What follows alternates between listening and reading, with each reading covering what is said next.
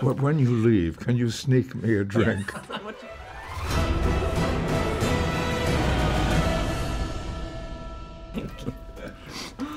So you do the idea first? Cold in here. So this mo- this movie is about money and eh, kind of greed, but also like mm. you never get enough money. It Has for you has your relationship to money has it changed with when you get older? No, I, I've always loved it and I continue to love it, and nothing will stop me. uh, no, I, I've never really had much terrible respect for it because my parents were absolutely right in telling me never to talk, never talk money at the dining room table. But do you think when the more money we get, the more worried we get for losing the money? Is there a yes. twist to oh, that? You think? Oh, of course, of course. And so I was grateful to a family who knew that. And, uh, but I still love it and love what it can buy. do you remember your very first paycheck and what you spend it on? I spent it on booze, uh, that, like I do every other paycheck. How old were you when you got your first like big check or like uh, bigger than? Yeah, about 18. You know, I was in the theater. I love the 50s because the 50s, apart from being the last golden age of, of theater in, in America, it was rampant with booze. And we just boozed our way through the 50s with such pleasure, and nothing will ever top it. Well, do you, when you talk about it like that, do you kind of get nostalgic looking back? Do you look I back get a lot? terribly thirsty when I talk about it. But when you leave, can you sneak me a drink? What do you prefer?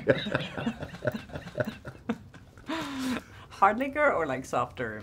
I can't. I'm not allowed to drink hard liquor anymore. No, I, I drink wine, hopefully by the gallon. But do you do you get nostalgic when you look back and like do you do you watch your old movies sometimes? No, not mine. No. I watch other people's old movies, but not not. No, I'm not. I'm not crazy about looking at myself on the screen. No. But is it weird when you when you're browsing on TV or, and some of your old stuff comes out, looking at yourself like 50 years ago? I that must run. be you do. I run. I change the channel immediately.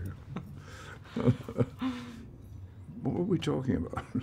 the movie. But I'm just going to congratulate you too with your Golden Globe nominee because that's fantastic. Does awards mean a lot to you? They're very still? nice. They're, they're terrific because they are, uh, as Ridley said yesterday, they, they are from your peers. It's, it's nice to be admired by your peers. And uh, that's terrific. You know, I, I'm not, I don't pretend that I'm snobbish about getting awards. Oh, I never talk about it or never think about awards, which is totally wrong. Of course we'd think about them. So what were you, what did you think when you heard that you were? Well, I was a little shocked, like everything else about this entire experience. It all came so quickly, and even the prizes. I thought, but I seem to be getting a prize just for knowing my lines. That's not true though. You did such a good I think a little bit more, maybe a little bit more than that. Yeah. You're great. Thank you so much. Thank you. You so deserve that nomination. Oh, thanks so much.